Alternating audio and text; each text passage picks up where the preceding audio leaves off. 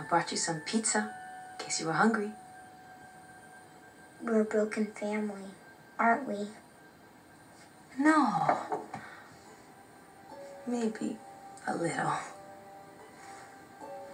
Maybe a lot.